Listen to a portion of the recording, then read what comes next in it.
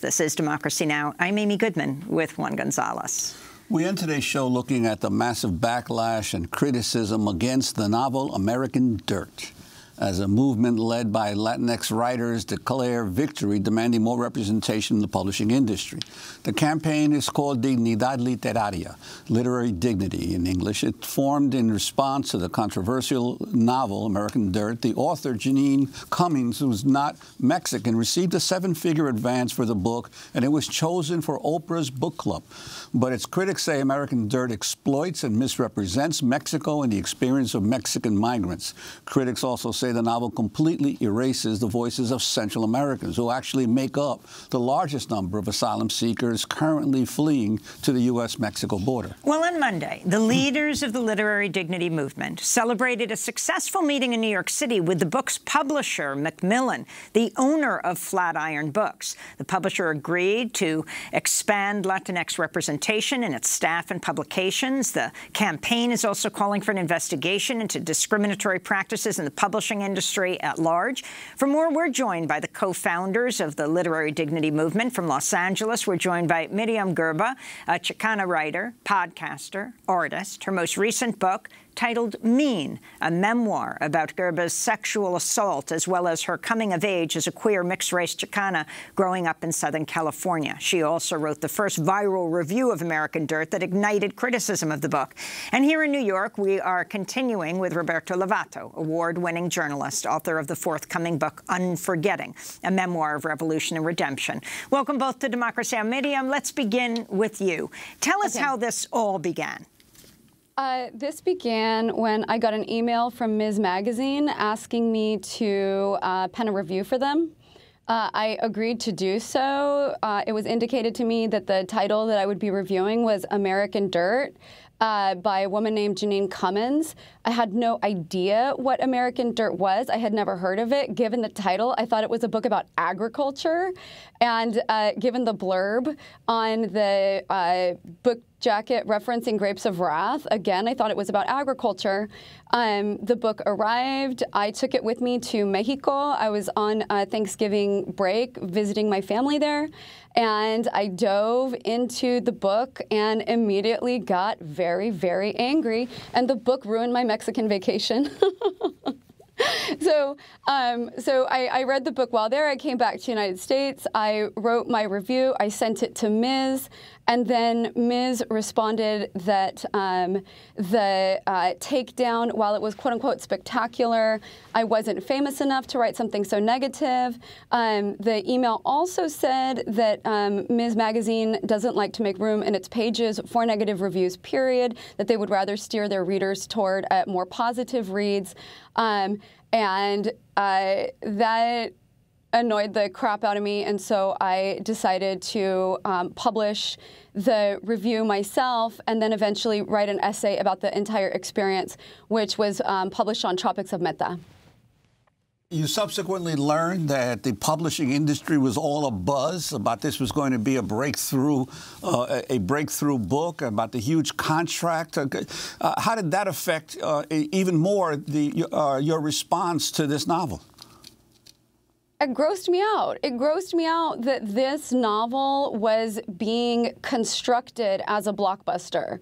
It, it, its, its bestseller status was preordained. It was an anointed work.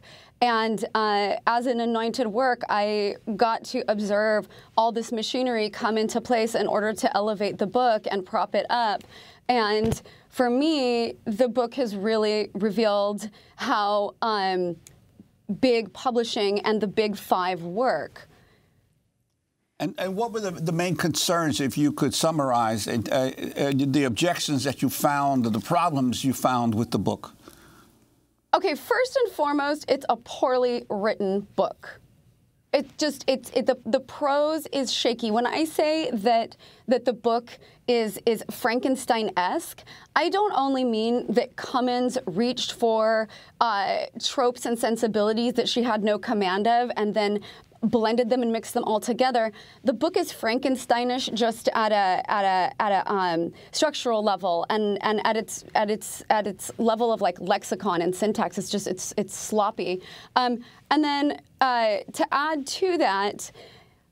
The folks represented by the book, the brown folks in the book, are paper dolls. They're paper dolls that are there in order to advance a plot and in order to um, advance an allegory. And that allegory is United States of America, good, Mexico bad. And Mexico isn't even Mexico. Mexico is anything south of the U.S. border as far as this book is concerned.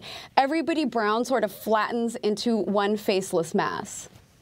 Um, let's turn to the renowned Mexican writer Sandra Cisneros, being interviewed by Maria Hinojosa on NPR's Latino USA last week. Cisneros has been widely criticized for endorsing American Dirt. Here she addresses why she supports the number one New York Times bestseller.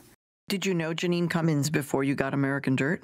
No, I, you know, nothing. I did not know her at all. I just know the stories. You know, reading this book, I said, okay, it had a great resonance for me. And I, I knew the amount of work that it took to weave this from testimonio and to make it into a novel that moves from the first page. You know, it has to, a novel is different from a piece of journalism, a piece of nonfiction. It's different from a script. You know, it has its own engine and it's got to roar from page one. And it did that for me.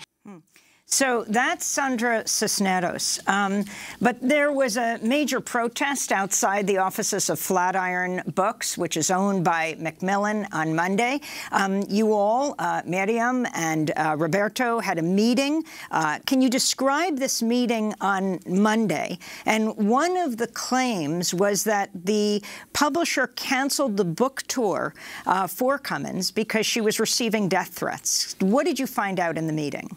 We found out that the Latino community in the United States is capable of exerting its voice and its power to enter the national dialogue that we've been excluded from through most of the history of the United States. This was a historic victory with material and political and cultural effects. And um, there's no precedent when you have 13 people in a room, the top executive, not just of Flatiron, but Macmillan, one of the most powerful publishing entities in the world, coming to meet with the leader of this movement that is this five foot uh, school teacher, a little taller with her heels, but uh, who Myriam, who, who, who sparked all of our imaginations to, to, to, to, act on this. And so I was moved by that, and I decided, along with our other colleague David Bowles, who, who, who requires mention here, to, to, to launch Dignidad Literaria to, to, to elevate the dignity. I think what you're seeing is nothing less than the decline and fall of the what I call the folklorico industrial complex of U.S. Latino literature. I think the cartoonish images of Latinos in the United States are starting to, to, to, to be dead. And I think the guarantors of that, you can find them on hashtag Dignidad Literaria. And so during the meeting, uh, which had moments of tension and moments of agreement, we actually you know, wrote out a, a, a collective, uh, an agreement basically.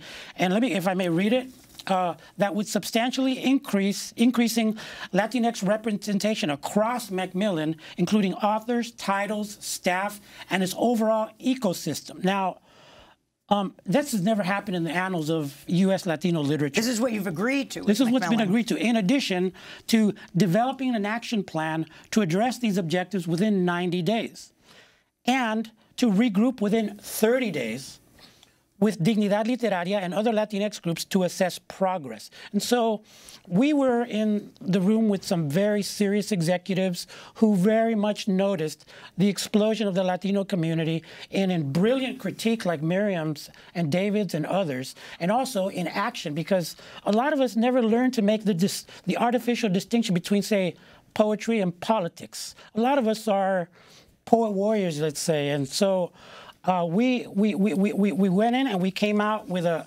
with a success that's measurable and that will be held accountable by the Latino community, who are the ultimate guarantors of this. And, and Myriam, your, your response yes. to the meeting, and your, uh, we have about a about a minute. Uh, your response to how the how Macmillan is dealing with the crisis. I mean, I went in there to tell them, like, look, you guys said you wanted to build a bridge and you failed. You guys built a wall instead. So we are here as Latinos to offer our assistance in this silly Reagan-esque turn, tearing down that wall. You guys built it. Latinos know how to work. Let us tear down that wall, and let's help you build that bridge that you initially said that you wanted to construct to begin with, and you got it all wrong. We know a thing or two about intellectual uh, infrastructure as well as manual labor. Um, and then the other thing that was really startling during that meeting was that um, folks in that room admitted that Cummins had received no death threats. And I was able to express to executives that I indeed was the critic who had been receiving numerous death threats throughout this entire process. Do you feel, how are you going to follow up on this meeting? We have um, several check-in dates in place. So there's supposed to be a 30-day progress report. Um, and when that 30-day progress report is issued, we're going to uh, release it publicly. And then there's also a 90-day uh, check-in point as well. Well, we want to thank you both for being with us. We'll continue to follow this story. Myriam Gurba and Roberto Lovato, co-founders of Dignidad Literaria, uh, the literary dignity movement. And that does it for our show. Democracy Now! is accepting applications for a paid year-long News Production Fellowship here in New York. Learn more and apply at democracynow.org. Democracy Now! is produced by Mike Burke, Deena Guzder, Nermeen Carla Wills, Tami Woronoff, Libby Rainey, Sam Alcoff, John Hamilton, Robby Karran, Hany Massoud, Trina Nadura, Tey-Marie Astudillo, Adriano Contreras, and Maria Taracena. Happy birthday, Arthur Alcoff. I'm Amy Goodman with Juan Gonzalez.